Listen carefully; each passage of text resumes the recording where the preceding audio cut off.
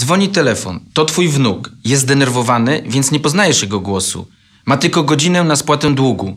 Oczywiście chcesz mu pomóc i szybko organizujesz gotówkę. Po pieniądze ma przyjść zaufana osoba. W trosce o wnuka przekazujesz wszystko nieznajomemu.